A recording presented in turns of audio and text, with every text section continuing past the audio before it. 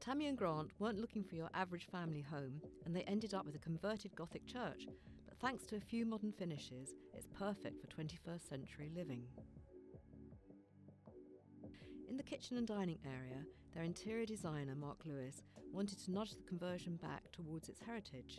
That meant a raw feel to the walls, traditional flooring, and recycled fittings. A lime plaster with mid grey pigment as a fittingly dramatic backdrop for the original carved stone church column. Pots and pans resemble an art installation, especially when you add in an historic bust. The kitchen units were made from recycled floorboards, then painted and waxed. Marble worktops give them some added glamour.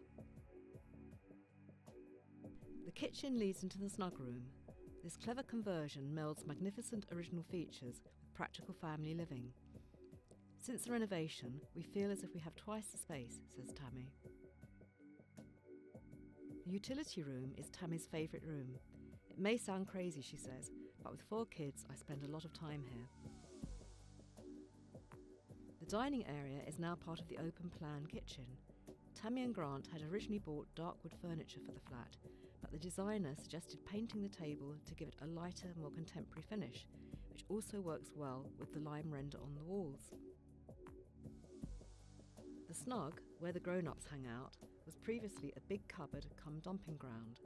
This is where Tammy and Grant retreat to read the paper, watch TV, or simply get some space. Our master bedroom is a haven for me, says Tammy. It's right at the top of the flat, with light streaming through the roof window. I come here to be peaceful. The wet room is big enough for all of us, says Tammy, laughing.